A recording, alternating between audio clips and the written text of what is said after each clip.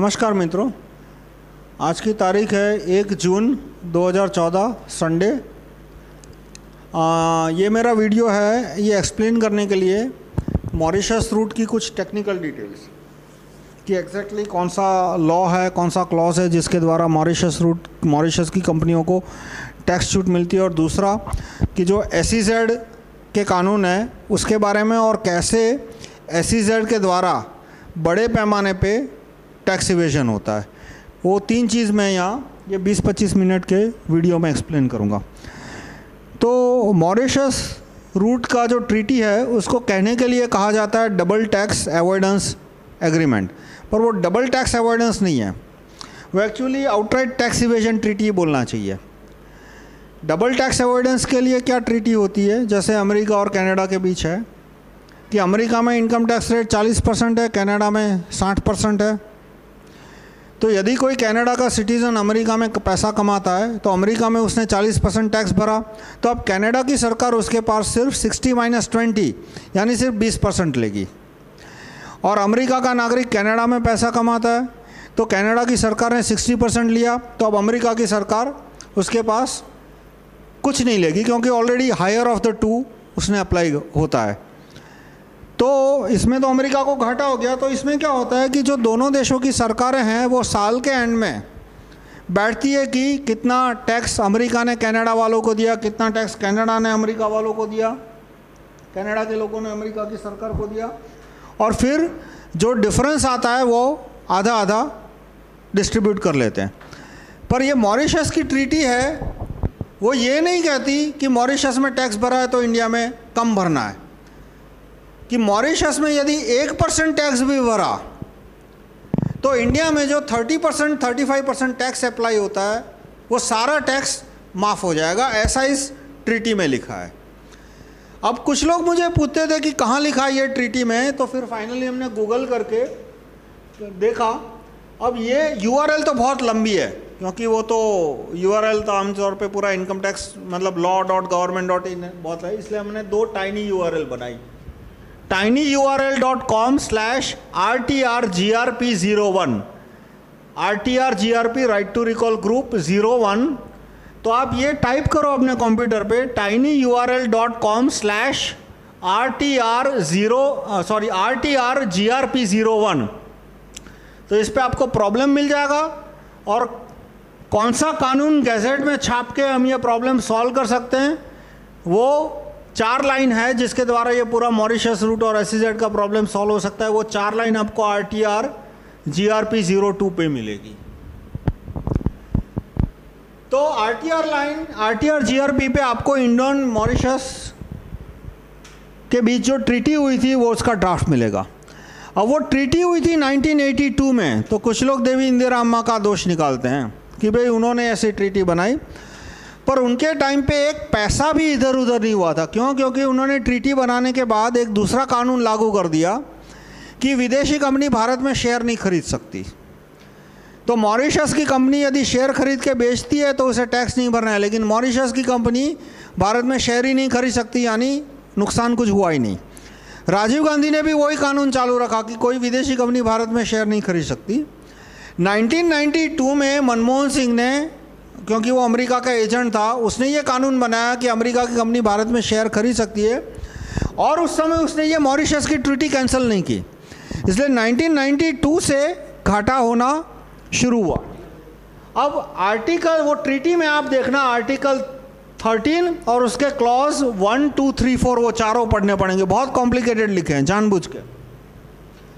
और इस पर आप सर्च करो क्लैरिफिकेशन वो आर्टिकल 29 के नीचे क्लैरिफिकेशन है। क्लैरिफिकेशन में क्लॉज नंबर थ्री तो आप tiny U R L dot com slash R T R G R P zero one type करो। तो आपको ये article clause one two four में जो क्लॉज फोर है, उसमें लिखेगा कि यदि कोई मॉरिशस की कंपनी शेयर खरीदती है, यानी शेयर यानी कोई भी चीज़ जो कि क्लॉज वन टू थ्री में कवर नहीं होती, वो खरीदती और बेचती है और उससे जो कैपिटल गेंस हुआ उस पर दो में से एक ही जगह उसको टैक्स भरना है। तो मॉरिशस में टैक्स रेट है वन परसेंट जो कि अब बढ़ के थ्री परसेंट हुआ। तो ज़ाहिर है वो कंपनी मॉरिशस में ही भरेगी। और इससे भारत की सरकार को जो तीस परसेंट टैक्स मिलना था, वो अब नहीं मिलेगा।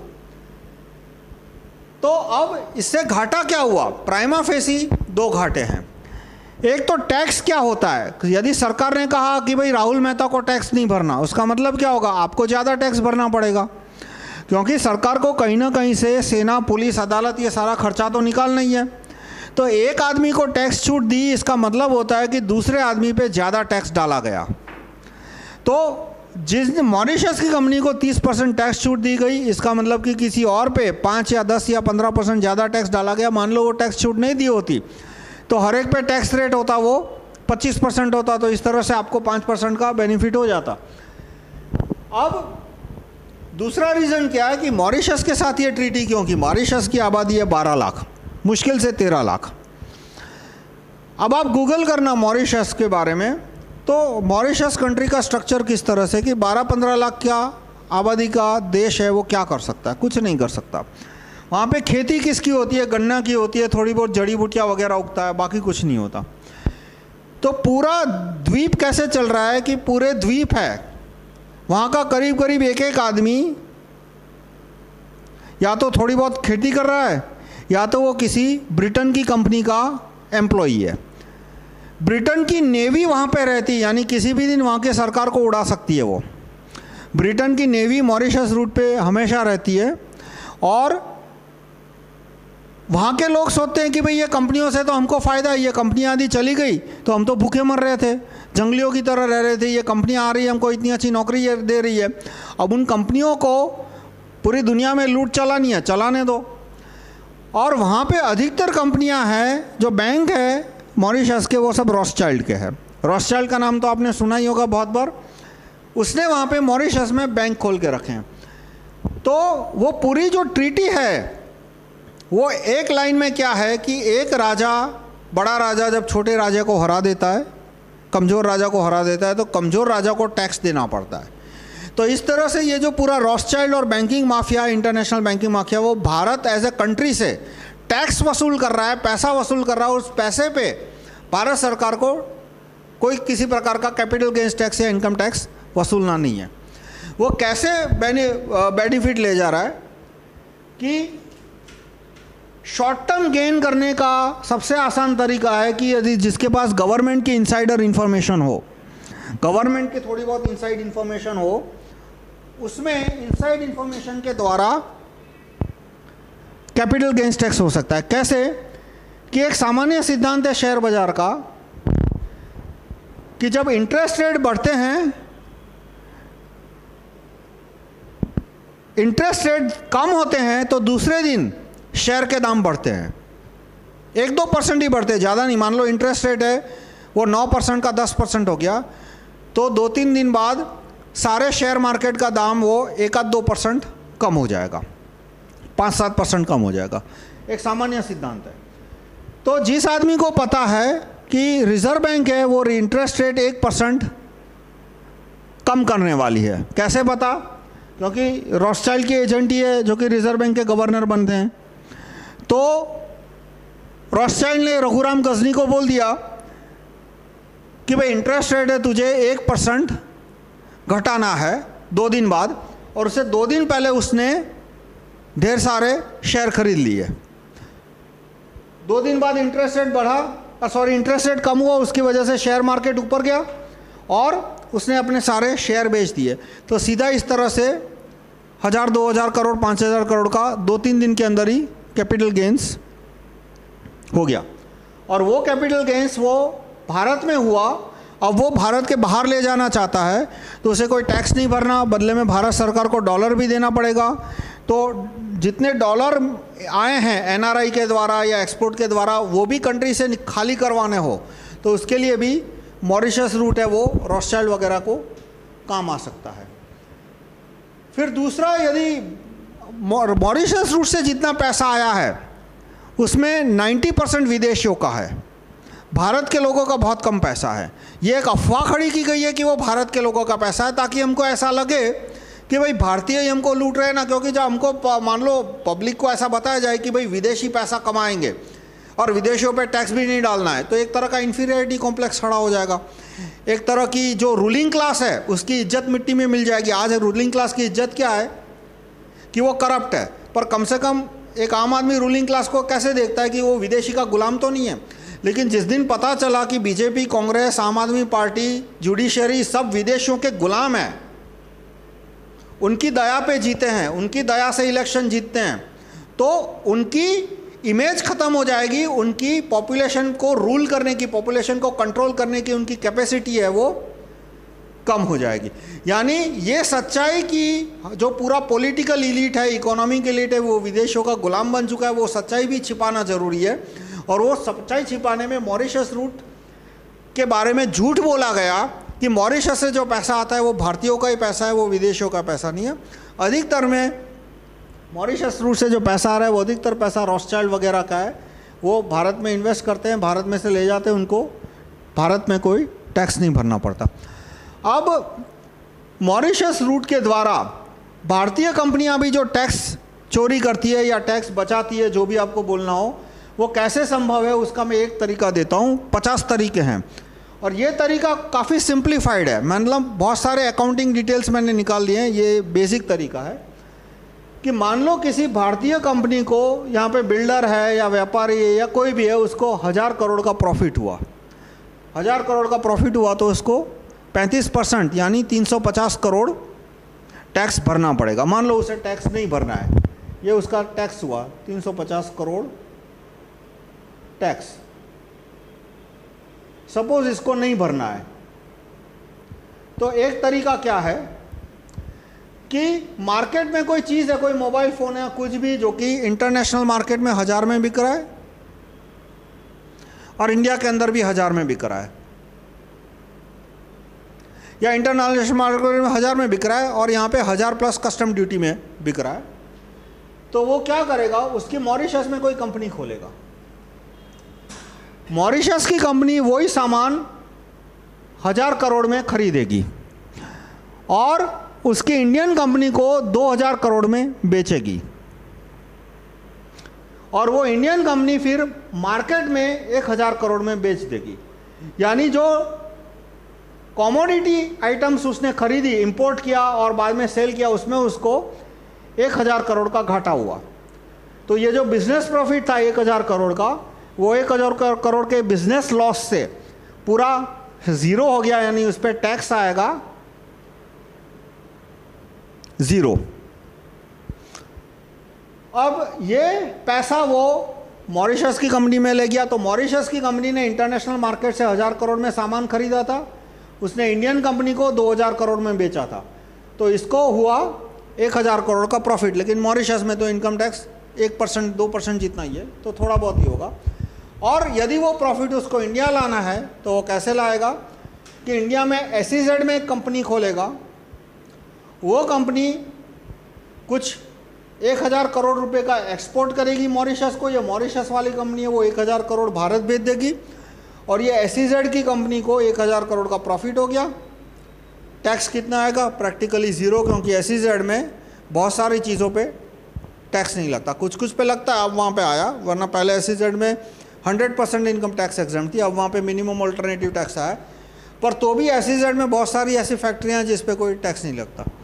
तो इस तरह से उसका हज़ार करोड़ का प्रॉफिट था, वो उसने मॉरिशस के ज़रिए वापस भारत में लाके टैक्स एग्ज़ाम कर लिया। अब इसमें कोई फॉरेन एक्सचेंज का फ़ायदा क्यों भारत को नहीं हुआ? क्योंकि जितना फॉरेन एक्सचेंज उसने यहाँ पे एस जितना फॉरेन एक्सचेंज लाया, उतना एस ये कंपनी इंडियन वन थी, उसने फॉरेन एक्सचेंज कंज्यूम कर। रहा इसलिए इतने सारे नाटक किए। मॉरिशस रूट एस उसके बावजूद भी आज भारत सरकार पे तो 300 बिलियन डॉलर का डेट है। 20-24 साल से ये बात कही जा रही है कि ये करेंगे, उससे फॉरेन एक्सचेंज आएगा, ये करेंगे, उससे फॉरेन एक्सचेंज आएगा तो फॉरेन एक्सचेंज यदि आ रहा है, आ रहा है, आ रहा है तो अभी तो हमारे पास फॉरेन एक्सचेंज का सरप्लस होना चाहिए। फॉरेन एक्सचेंज का डेट क्यों है? 300 बिलियन डॉलर का। तो जितने लाने के तरीके हैं, उससे डबल तरीके फॉरेन एक्सचेंज देश में से वापस निकालने के हैं। तो इस तरह से मैंने आपको बताया कि एक तो मॉरिशस रूट क्या है? कि मॉरिशस रूट ट्रीटी जो है, उसका article 13 clause one two four treaty के नीचे, आर्टिकल 29 के नीचे आप पढ़ना। Clarification clarification number point three और वो यूआरएल आपको मुझे आएगा tiny U R L dot com R T R G R P zero one अब उपाय पे आते हैं। तो कांग्रेस है, वो मॉरिशस रूट की समर्थक है। उसने तो शुरू किया, मनमोहन सिंह ने शुरू किया, और आज भी सारे नेता उसके समर्थक हैं। बीजेपी के वाजपेयी ने और यशवंत सिन्हा ने मॉरिशस रूट का 1992 से 1996 तक इन्होंने विरोध किया था। यशवंत सिन्हा स्वदेशी जागरण मंच के संस्थापक, वरिष्ठ नेता थे। आरएसएस के जो बड़े नेता थे सरसंघचा वो भी मॉरिशस रूट के बहुत बड़े विरोधी थे। उसके बाद 96 में वाजपेयी की सरकार बनाई, फिर उन्होंने पोखरण वो टू किया, सरकार गिर गई इसलिए 1998 में जब इलेक्शन हुआ, तभी भी वो मॉरिशस रूट के विरोधी थे। तो लोगों ने पूछा कि भाई, आपने दो साल में मॉरिशस रूट बंद क्यों नहीं किया? तो पचास तरह के बहानों के साथ साथ बोला कि हमको टाइम नहीं मिला। फिर 1998 में दोबारा सरकार बनी।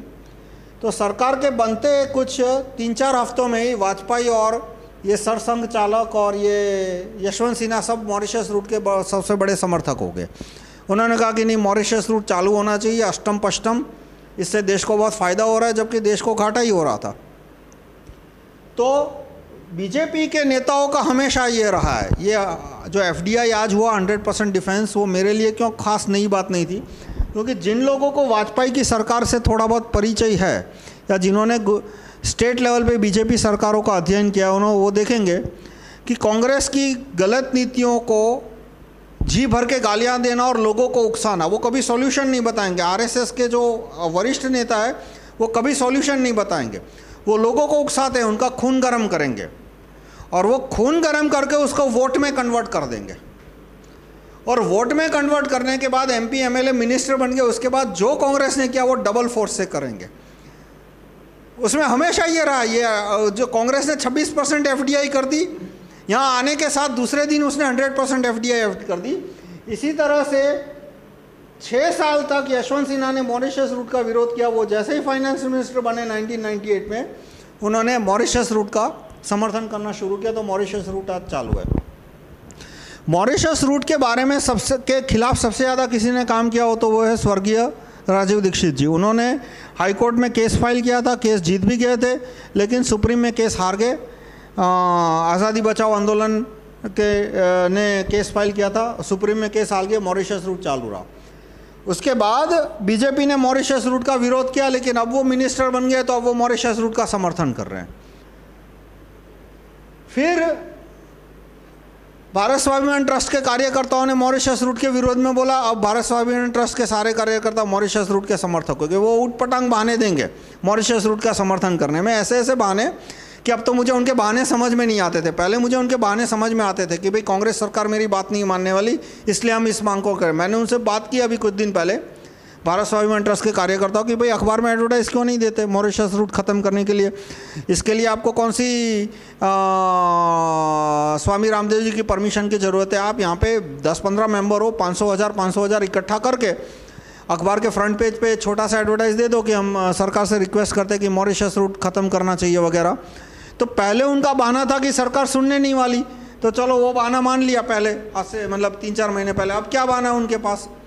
तो अब वो कुछ ऐसे उठपटंग बहाने देते वो आप ही उनसे पूछ लो, क्योंकि मेरी समझ में बाहर है, यानी अब तो इतने मुझे कॉम्प्लिकेटेड लगते हैं वो बहाने के मुझे याद भी नहीं रहते तो भारत स्वाभिमान ट्रस्ट है, वो भी के कार्यकर्ता भी अब मॉरिशस रूट के समर्थक हो गए।